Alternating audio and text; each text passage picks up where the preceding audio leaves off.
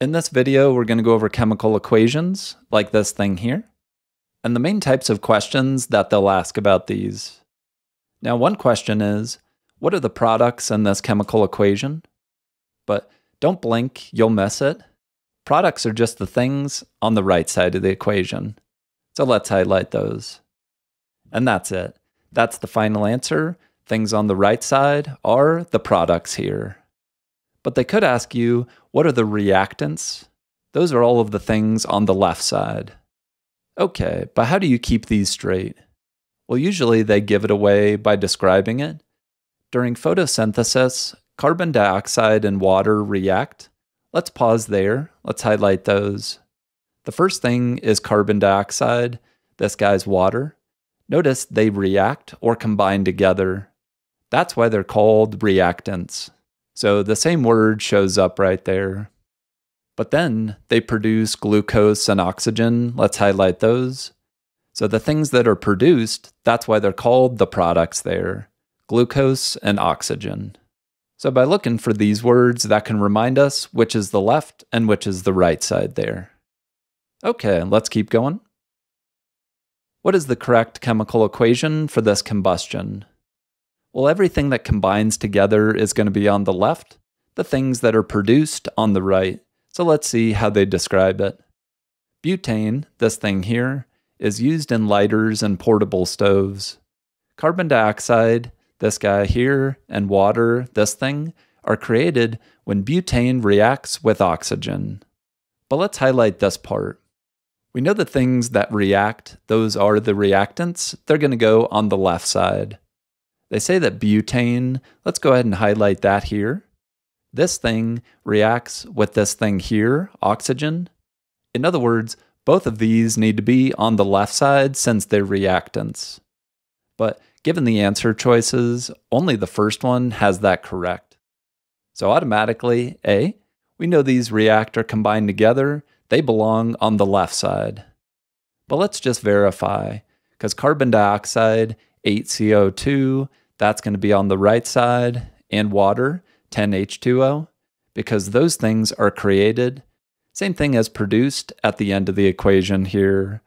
So those things belong on the right side, and that's all correct there. For this one, which of the following statements is true?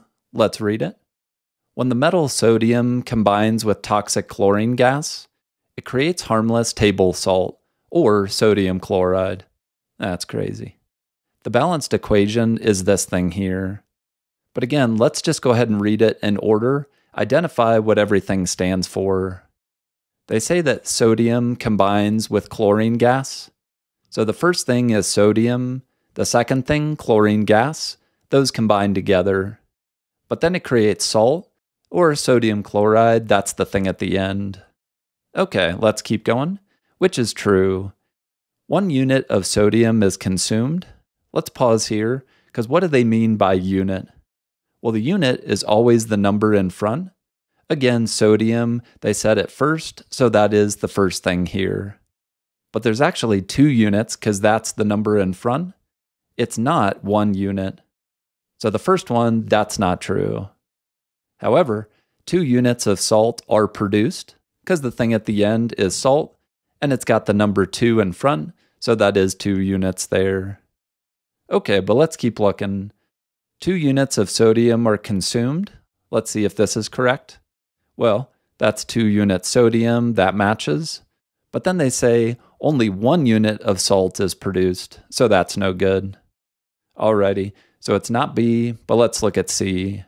One unit of chlorine is consumed. Now, chlorine, that's Cl2 here. What if there's not a number in front?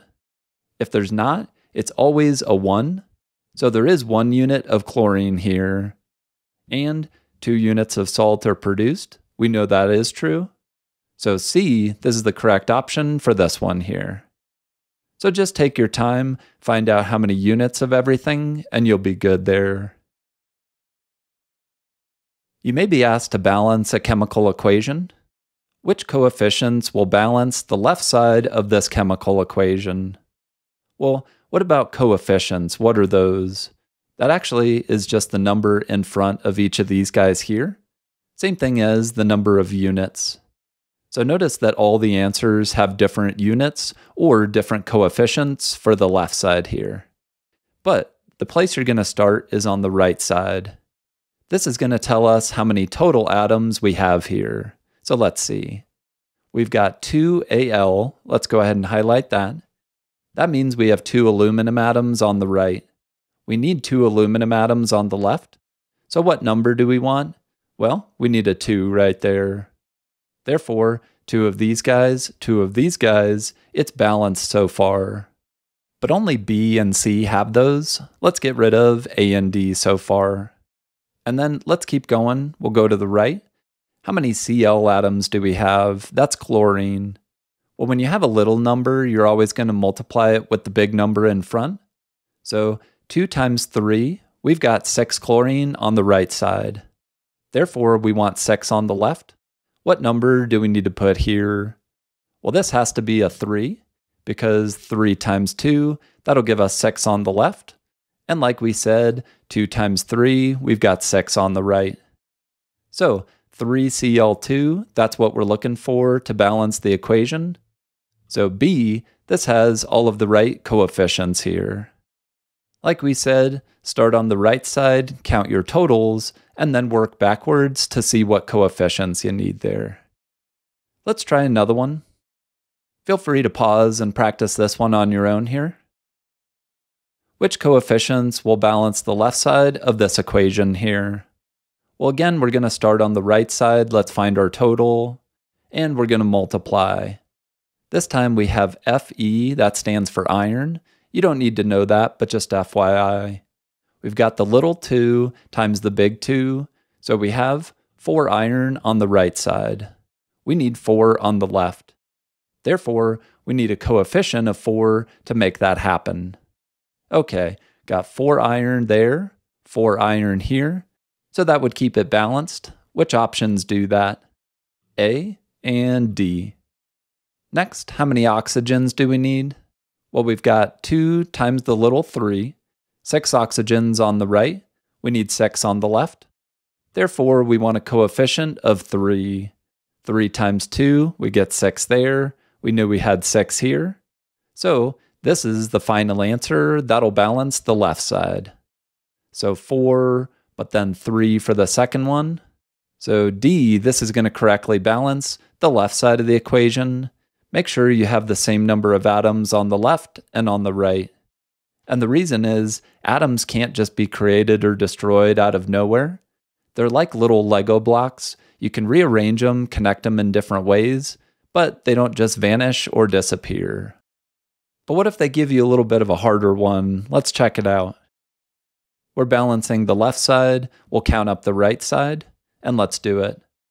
We've got three C's, that's three carbon atoms, let's put that. We want three C's on the left side. But this means the same thing. It's three carbons, they're all connected together like Legos. These would be three Legos not connected.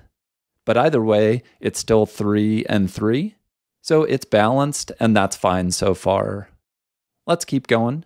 How many oxygens here? It's going to be 3 times 2, 6 oxygens there. We want 6 oxygens here. But this is where it's more complicated because we have more oxygens to count right here. So we don't want to put a number in front of this guy yet. Let's go ahead and wait on that. Okay, let's see. How many hydrogens do we have? We've got 4 times 2, 8 hydrogens. Let's put that there. And we want 8 on the left. But again, we do have that 8 hydrogens, so we're all set there as well. But finally, we've got 4 times, if there's no number down here, it's a 1. So 4 times 1, we have 4 oxygens. We'll put that there. Finally, we want to count how many oxygens total on the right side. 6 plus 4 there's actually 10. Therefore, we want this one to be 10 oxygens right there. So that's what makes this one a bit more complicated. But to get 10, we need a coefficient of 5. So 5 times 2, 10 oxygens here. Same thing as these 6 plus these 4, and it is balanced after all. So final answer, that appears in A. And that's the correct balanced left side for this equation here. Okay, one last type of problem. You may be asked about a limiting reactant, but they'll tell you what that is. They say a limiting reactant is the substance that runs out first, let's highlight that, and stops a chemical reaction from continuing. But you already know what a reactant is. It's something on the left side of the equation. So a limiting reactant has to be one of these two things here. In other words, it could be A or B, but it's not going to be the last two options, because this thing is a product, not a reactant. Okay, next, they're going to tell you how many atoms. We've got five carbon atoms. Let's actually go ahead and put five C's on the left side here. Then we've got two O2 molecules. The number in front tells us how many, then just write out O2 that many times. So two O2s there. But do you see how in the chemical equation, one carbon combines with one of these O2s? So this is going to combine with this, and let's go ahead and do that. When we combine these, they form a carbon dioxide, and we're done. But then we can start the process over. Let's combine one carbon with one more O2, and let's form another carbon dioxide. But notice we've stopped. We can't do the chemical reaction anymore because we don't have any more O2s left. We still have three carbons, but we can't combine them with anything. So the one that ran out first was the O2 molecule. Therefore, that's the limiting reactant, whichever one ran out first and we had less of.